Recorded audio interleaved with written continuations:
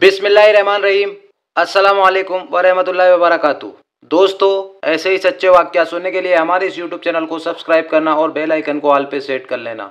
दोस्तों, आज का जो वाक्य है, वो है बैतुल मुकद्दस की फतह और सुल्तान सलाउद्दीन अय्यूबी का अजीम शान कारनामा। दोस्तों, वो न सिर्फ़ इस्लाम के इतिहास में, बल्कि दुनिया के इतिहास के मशहूर तारीन और फतहीन व हुक्मरानों में से एक थे।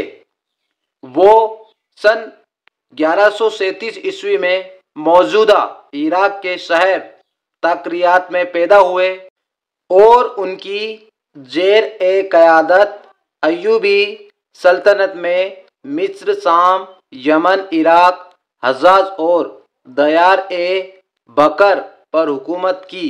सलाउद्दीन अयूब की बहादुरी जुरात हुस्न, खल्क, सखावत और बर्दबारी के बास न सिर्फ़ मुसलमान बल्कि ईसाई भी उनकी इज़्ज़त को निगाह से देखते थे।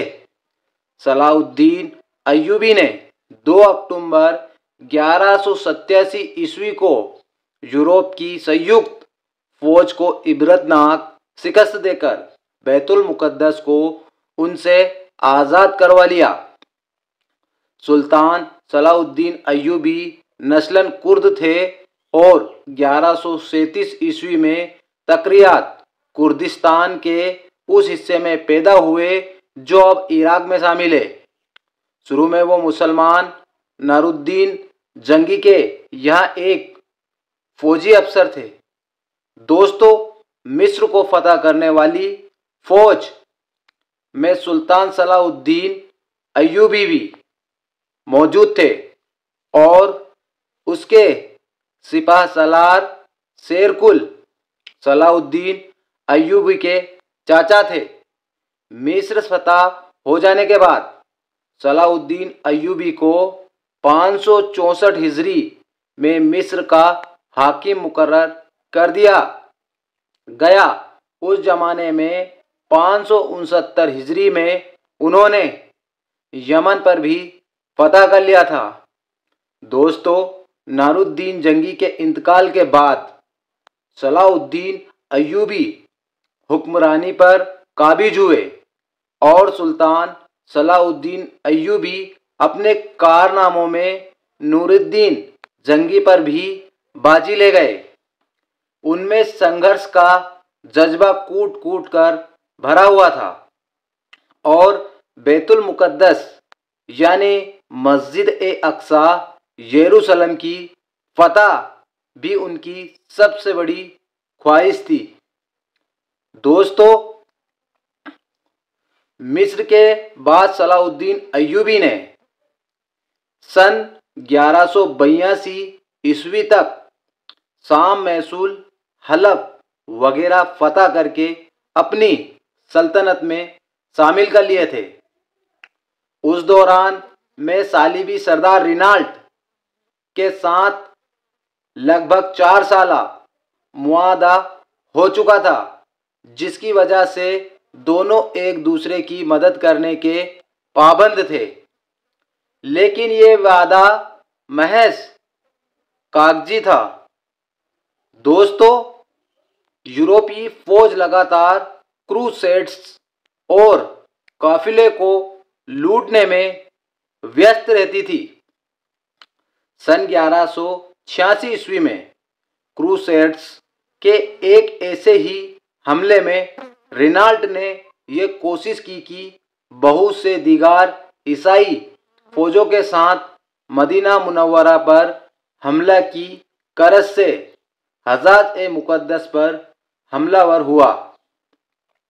सलाउद्दीन अयूबी ने उनकी सरगर्मियों की रोकथाम के लिए कदम उठाए और फ़ौरन रिनाल्ट का पीछा करते हुए हातिन में उस तक पहुँच गए। सुल्तान सलाउद्दीन अयूबी ने यही दुश्मनों के लश्कर पर एक ऐसा अतिश गिर मादा डलवाया जिससे ज़मीन पर आग भड़क उठी। चुनाचे उस अतिश के माहौल में 4 जुलाई उन्नीस सौ सतासी ईस्वी को हातिन के मुकाम पर तारीख के खौफनाक तारीन जंग का आगाज़ हुआ। और उस जंग का नतीजे में तीस हज़ार क्रूसेट्स की भी मारे गए और उतने ही कैदी बना लिए गए। रिनाल्ट गिरफ़्तार हुआ और सुल्तान सलाउद्दीन अयूबी ने अपने हाथों से उसका सर कलम कर दिया। दोस्तों, उस जंग के बाद इस्लामी फौज ईसाई इलाकों पर छा गई। हातिन की फतेह के बाद सलाउद्दीन अयूबी ने बैतुल मुक़द्दस की तरफ़ रुख किया।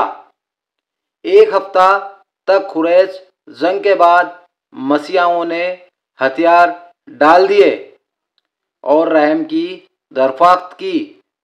दोस्तों 2 अक्टूबर ग्यारह को बरोज जुमा बैतुल मुक़द्दस अट्ठासी साल बाद दोबारा मुसलमानों के कब्ज़े में आया और तमाम फ़िलिस्तीनियों में ईसाई हुकूमत का खात्मा हो गया।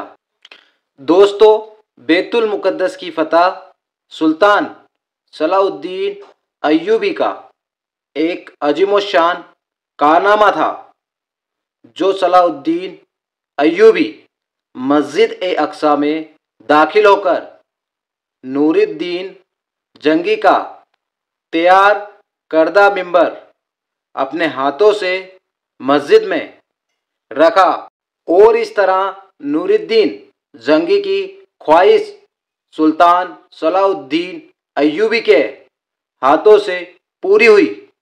दोस्तों, सुल्तान सलाउद्दीन अयूबी ने बैतुल मुक़द्दस में दाखिल होकर वह मजालिम नहीं की, जो उस शहर पर कब्ज़े के वक्त मसीही फौजियों ने किया थे।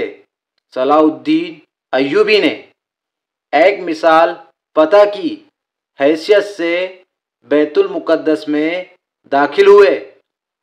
दोस्तों, उन्होंने ज़र फिदिया लेकर हर मसीहा को अमन दे दिया। और जो गरीब फिदिया नहीं अदा कर सके, उनके फिदिये की रकम सलाउद्दीन अयूबी के भाई मालिक आदिल ने खुद अदा की।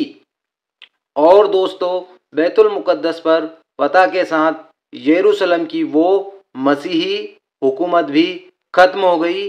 दोस्तों, आपको हमारा यह वाक्य कैसा लगा? वाक्य अच्छा लगा हो तो वीडियो को लाइक, शेयर ज़रूर कीजिएगा और चैनल पर पहली बार आए हो तो चैनल को सब्सक्राइब कर लेना।